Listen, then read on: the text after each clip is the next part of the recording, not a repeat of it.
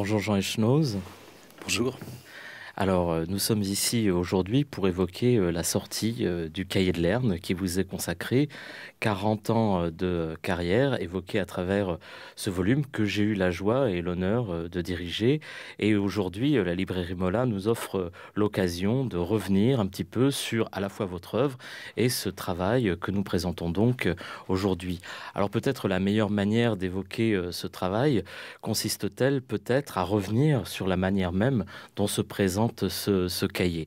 Alors ce cahier, on a un peu décidé d'ailleurs, un peu euh, tous les deux, de, l'organiser un peu selon en fait euh, le, parcours de votre œuvre, un peu revenir sur le début de votre œuvre. Il est découpé en quatre grandes périodes que moi j'ai distinguées et qui euh, courent donc de 1979. Hein, le 1er mars 1979 sort Le Méridien de, de Greenwich, votre premier roman qui s'il connaît une carrière discrète euh, à sa sortie, euh, ne laisse pas du tout présager par cette carrière discrète l'éclatant parcours qui sera le vôtre, notamment couronné en 1999 par euh, le prix Goncourt. Alors ces quatre périodes, évoquons-les les unes après les autres.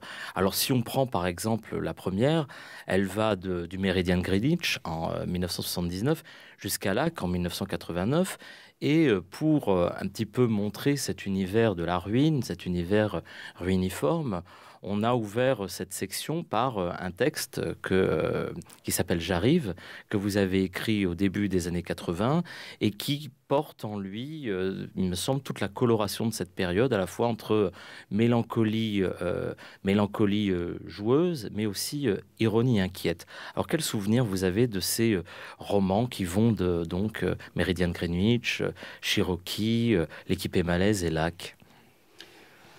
Bah, tous les quatre, ce sont des, euh, ce sont des livres qui étaient un, peu construits comme des en référence ou en hommage ou en salut à des, à des, à des formes littéraires qui étaient considérées euh, à tort euh, ou à raison, je sais pas, comme des, des, formes un peu mineures, populaires. Enfin, je sais pas, je le, le, roman policier, le roman d'espionnage, le roman d'aventure. Mais ça, ça correspondait ça correspondait peut-être, pour moi, à une façon d'entrer dans le roman, parce que dans les années 70, euh, c'était pas une forme qui était très. Euh,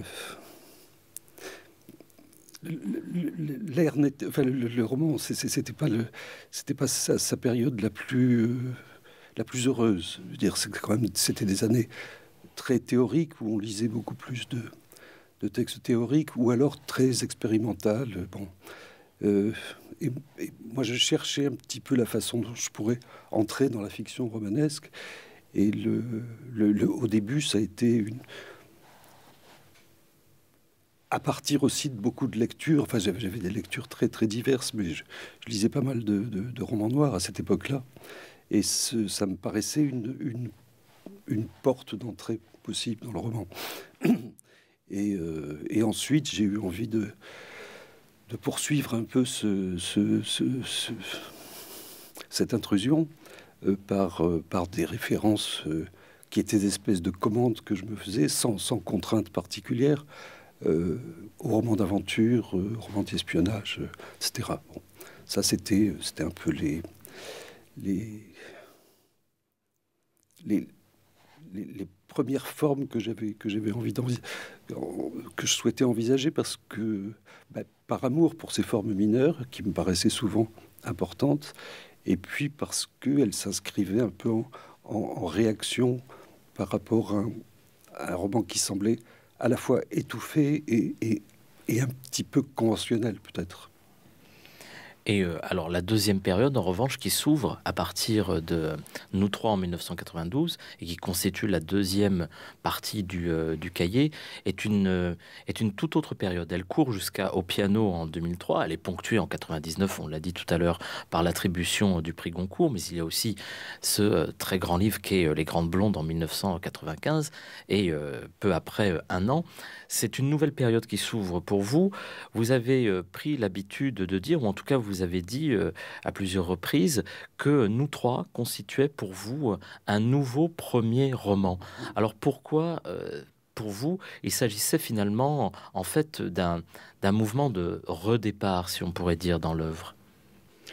Ben, disons qu'après avoir euh, euh, déambulé un peu comme dans, des formes, euh, enfin en, en, démarquant tout en leur rendant hommage des, formes donc un peu spécifiques, bah, il n'y avait plus tellement de formes auxquelles j'avais envie de, de, me, de, me, confronter. Enfin, j'aurais pu, j'aurais pu, je sais pas, j'aurais pu jouer avec le, le fantastique ou la science-fiction, tout ça, mais ça, c'était des, des genres qui m'intéressaient pas tellement comme, comme lecteur.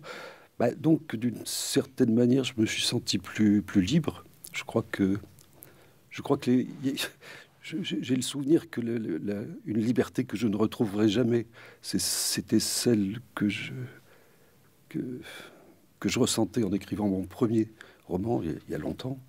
Mais à ce moment-là, c'était une, une, une, autre forme de liberté. C'est-à-dire que j'étais un peu dégagé de, de, de, de l'inspiration de modèles existants et je pouvais, euh, je pouvais, me, je pouvais me promener de façon peut-être un peu plus, plus, plus détachée. Quoi. Et euh, ce détachement vous conduit à une troisième période qu'on évoque dans le cahier et qui va s'ouvrir donc juste après euh, au piano avec, euh, avec Ravel et qui constitue un moment clé, c'est celui des, peut dire, d'une trilogie de vie, pour le dire rapidement, Ravel, Courir, des éclairs, et qui se clôt euh, avec finalement une, sorte de fresque historique amputée, 14, hein, hein, comme une amputation de 1914. Alors euh, ici, on, voit que vous ouvrez euh, quelque chose qui était présent hein, dans tous vos livres depuis le début, mais qui s'accentue ici. C'est une sorte d'encyclopédisme inquiet, de ces restitutions de vie. C'est encore une commande, comme vous disiez tout à l'heure, que vous aviez passée à vous-même ça, c'était pas du tout une commande. C'était, je crois que ça correspondait à un moment où j'étais un peu, un peu fatigué de la fiction et euh, où j'avais envie de m'aventurer dans, dans une, dans, d'autres formes euh, qui, en vérité, dont, je n'avais aucune idée. Et puis, euh, et puis, à un moment, j'ai eu envie de travailler sur une, sur une période, sur l'entre-deux-guerres et avec, en, mêlant des personnages réels et des personnages imaginaires. Et parmi les personnages réels, mais qui ne devaient être que des, silhouettes, hein, des figurants, il y avait la, personne de, Maurice Ravel, qui donc n'était au départ qu'une, qui ne devait être qu'une apparition très brève. Et, euh, comme je suis un petit peu maniaque, peut-être un peu obsessionnel pour, pour, pour, approcher un peu la figure de Ravel, qui encore devait avoir un rôle très mineur. Bah, j'ai lu à peu près tout ce que. J'aimais beaucoup sa musique, toujours d'ailleurs, mais euh, j'ai lu à peu près tout ce qui le concernait. Et je me suis aperçu que sa, figure, sa personne était infiniment plus intéressante que, mon projet initial. Donc, euh, euh, bah donc il, est, il, a pris la place de, ce projet. Et, et, ça a été le, le, livre le plus difficile à écrire parce que il fallait avancer sur un fil qui n'était pas le fil biographique, parce que c'était pas mon propos, et qui ne pouvait pas non plus être le fil trop romanesque. Il y avait un, équilibre à tenir là-dessus. Et c'était, ça a été une expérience très, très compliquée, très, très. Euh, euh, bon, je crois que c'était le livre le, plus difficile à écrire de tous, en vérité. Et, et puis, ce, ce, travail sur une vie m'a intéressé. J'ai eu envie d'en faire deux autres, euh, jusqu'au moment où justement ça devenait de moins en moins difficile. Donc il fallait s'arrêter. Mais euh, oui, voilà.